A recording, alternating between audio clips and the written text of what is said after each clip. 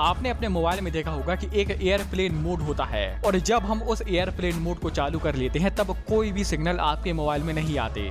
ठीक यही एग्ज़ाम्पल आपको अपने शरीर में फिट करना है। आपको अपना ब्रह्मचर्य मोड ऑन कर लेना है। अपने ब्रह्मचर्य मोड को चालू कर लेना है और अपने काम रूपी तरंगों से कहना है कि, अरे मोहतरमा, मैं ब्रह्मचर्य मोड में हूँ। कृपया करके आप अपना दूसरा कस्टमर ढूंढ लीजिए। मेरे पास आने का प्रयास न करें क्योंकि मैं फ्री नहीं हूँ। काम वासना को हम देखते हैं एक अग्नि के रूप में। और जब तक यह अग्नि आपके शरीर में भड़की रहेगी, तब तक आपकी दिमाग की बत्ती जलेगी ही नहीं। और अगर आपको अपनी दिमाग की बत्ती जलाना है तो आपको अपनी काम वासना की अग्नि को बुझाना ही पड़ेगा।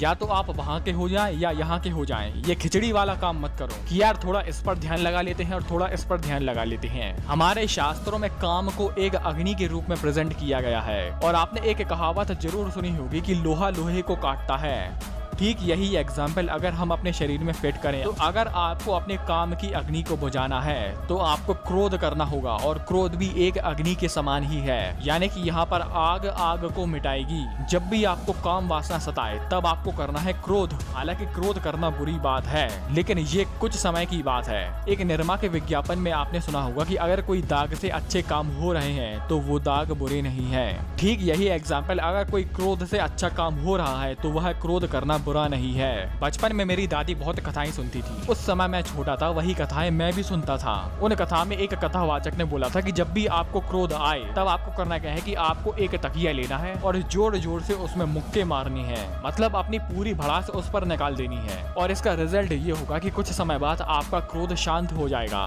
तब बच्चा था, बुद्धि उतनी ही थी, लेकिन ये बात मुझे वाहियात लगती थी। खैर, अब दादी शांत हो गई है, बड़ा हो गया हूँ थोड़ी सी मेच्योरिटी आ गई है। उन कथावाचक की कही गई यह बात मुझे एक हंड्रेड परसेंट सही लग रही है। आप कभी भी प्रैक्टिकल करके देखना कि जब भी आपको काम वासना सताए, तब आपको करना क्या है कि आपको क्रोध करना है। आपको कुछ ऐसा बोलना है कि अरे, काम वासना, भाग यहाँ से। क्यों मुझे सता रही है? तेरी औकात क्या है? नहीं तो उस तकिए को ही अपनी काम वासना मान ले और ज़ोर ज़ोर से उसमें मुक्के मारने हैं। आपको गर्व करना है कि आप उस परम पिता परमात्मा की संतान है, ओम की संतान है और यही यही आपके एटीट्यूड में बदलाव होने के कारण आपका मन डाइवर्ट होना शुरू हो जाएगा। गुस्सा करने से होगा क्या कि आपका मन डाइवर्ट हो जाएगा, आपका मन विचलित हो जाएगा, यानी कि मेन मुद्दे से हटकर दूसरी जगह पर चला जाएगा। इससे आपकी काम वासना शांत हो जाएगी। और ये बात मुझे अभी ध्यान इसलिए आई क्योंकि मैंने एक वैद्य के लेक्चर में सुना था कि एक अग्नि को दूसरी अग्नि काटती है। हाँ लेकिन क्रोध पे क्रोध करो तो वो बढ़ता है। लेकिन एक अग्नि को दूसरी अग्नि काटेगी तो आपका ध्यान भटकेगा।